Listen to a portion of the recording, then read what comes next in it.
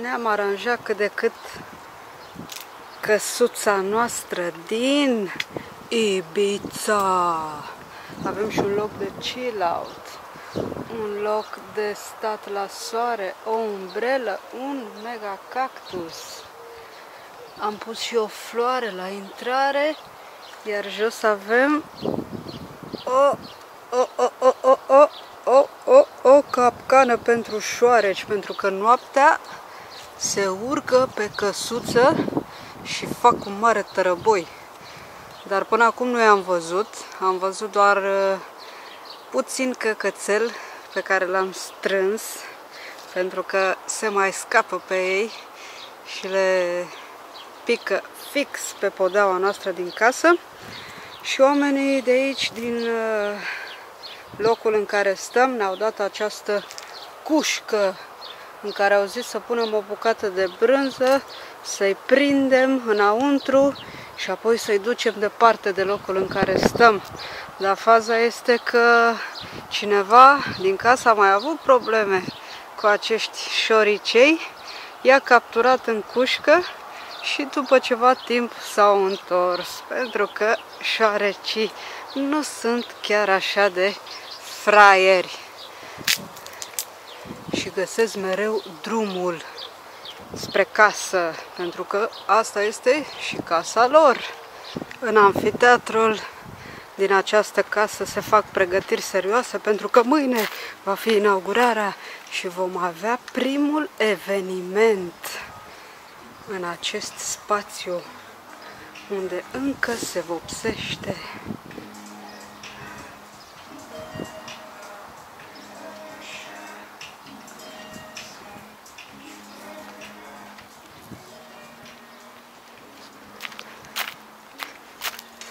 mă îndrept spre stația de bus.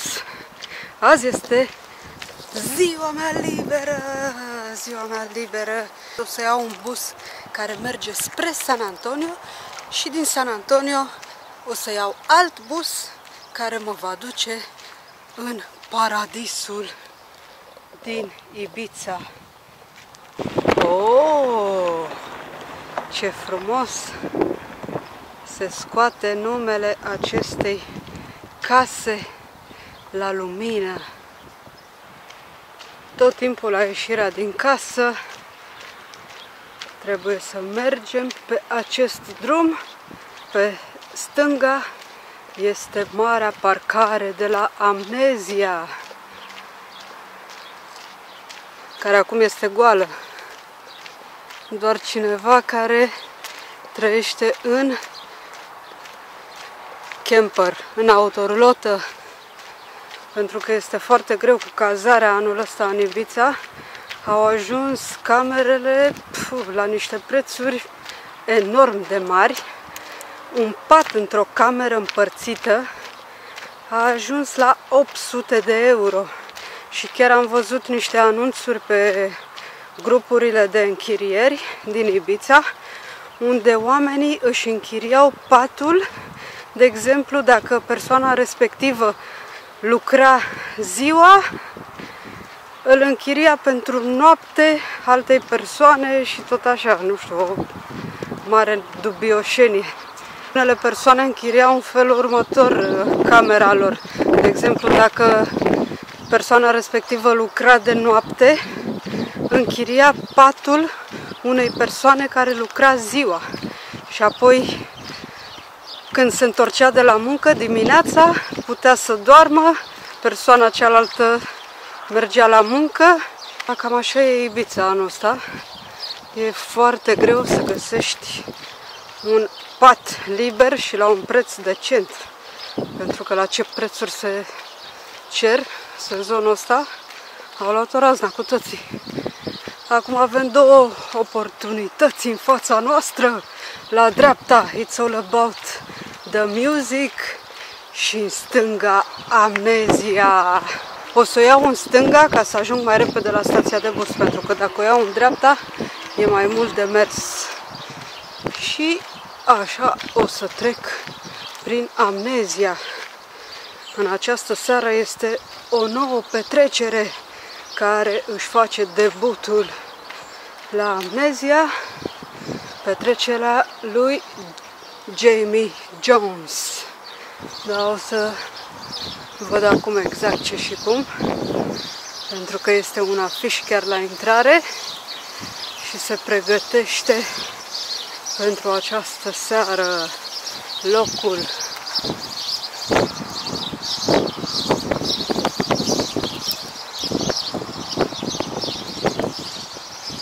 camionul cu El Row sau petrecerea plasticelor, cum îi mai spunem noi, pentru că sunt multe chestii de decor, toate din plastic, care se aduc cu albinuță în spate, după cum se poate observa.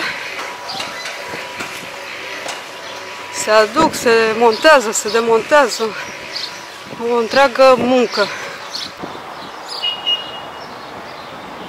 Petrecerea lui Jamie Jones, Night of the Jaguar.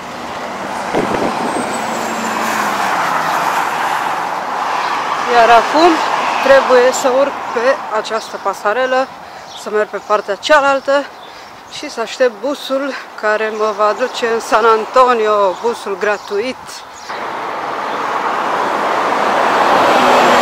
Încă mai vin persoane pentru a-și face pasul de intrare gratuită la unele dintre petrecerile care sunt în amnezia în fiecare zi. Ni le-am făcut și noi. Trebuie doar să fii rezident în Ibița și să vii cu un contract de muncă și se activează pasul cu care poți intra gratuit la unele petreceri sau plătești 50% mai puțin, de exemplu pentru El Row am văzut că era 50% mai puțin intrarea, 50% reducere cu pasul și intrarea este undeva la 70 de euro. Ăsta este locul unde se adună foarte multă lume înainte de orice petrecere și stau la un pre-party cu puțină băutură înainte să intre în amnezia, pentru că scorurile sunt cam mari.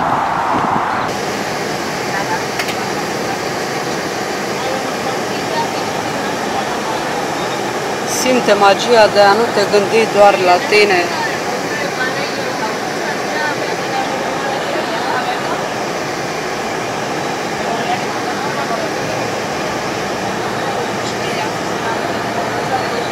San Antonio.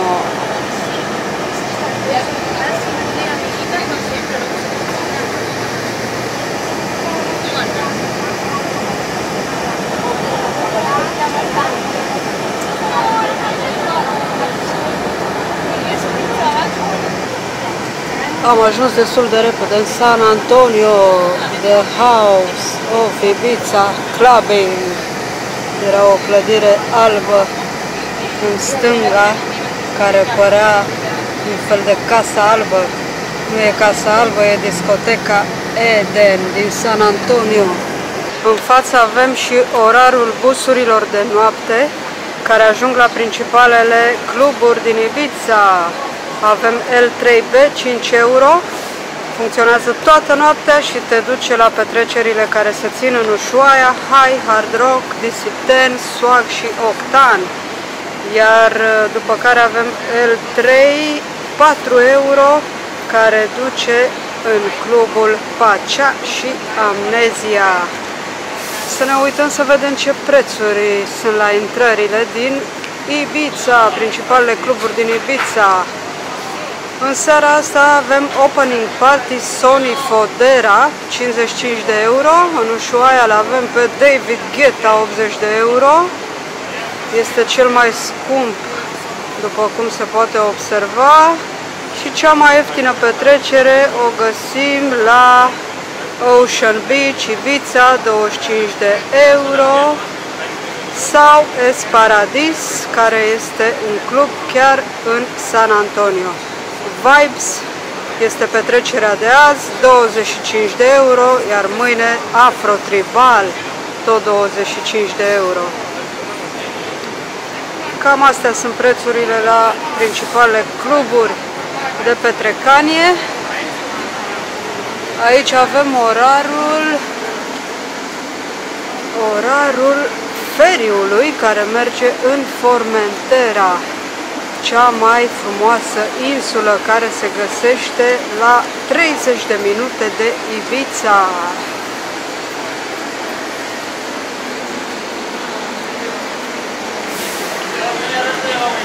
Cala Comte, numărul 4.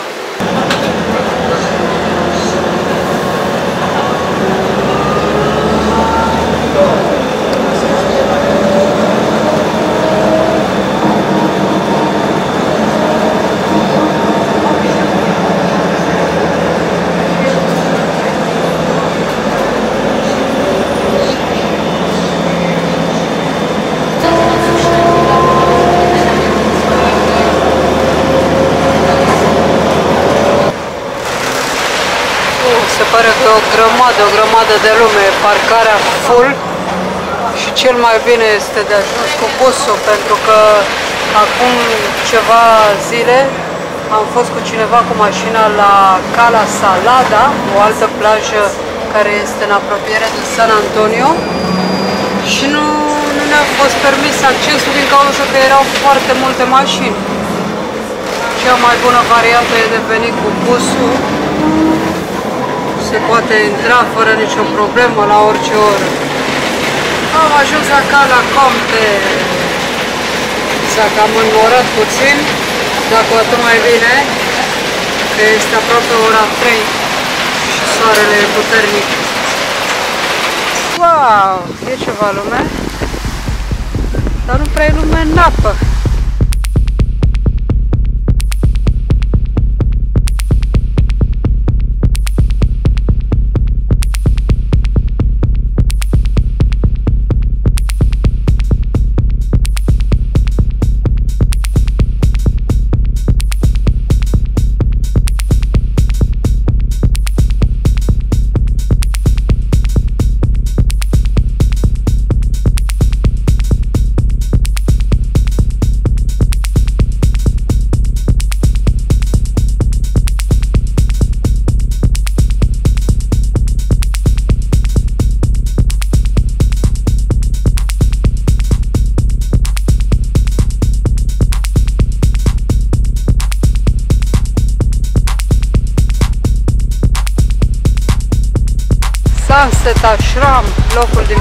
Noastră, este o cunoscută terasă unde se poate observa sunsetul și tot timpul este full, la fel ca și azi.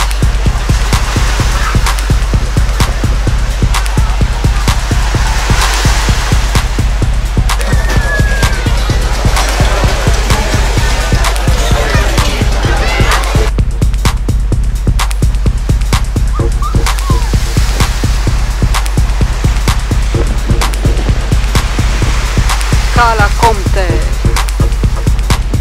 Aici, Caterinca. Oamenii stau cu mașinile, scăunele, măsuțe, chiar și plasă de țânțari. Ce poate fi mai frumos decât un view fix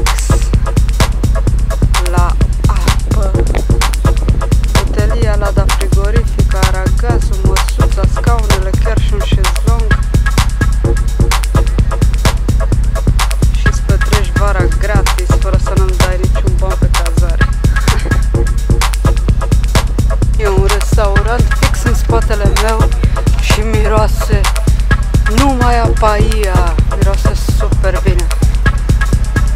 În sfârșit a ieșit puțin soarele.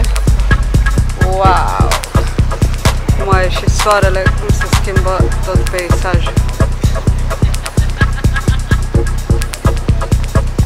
Un loc minunat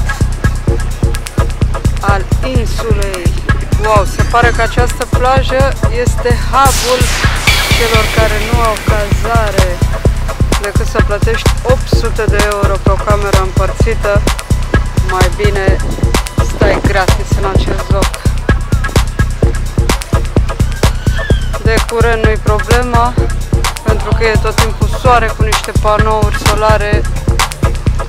O duci ca boierul.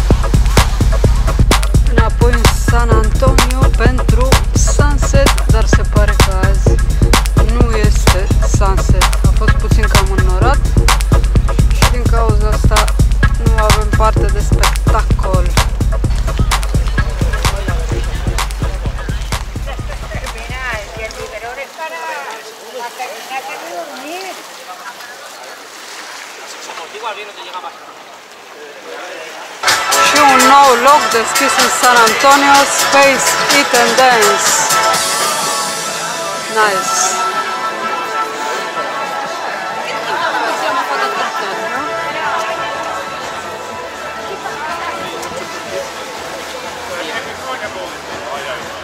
Locul unde toată lumea se strânge pentru apus.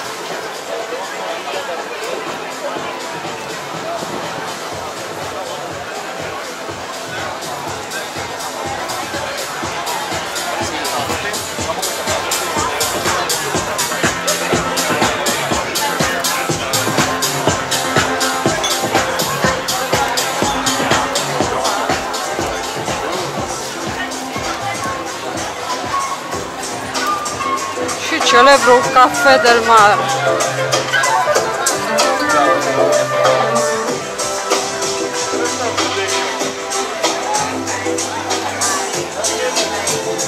Și să nu uităm de Mambo, Café Mambo, care este chiar în față după Café del Mar, concurența.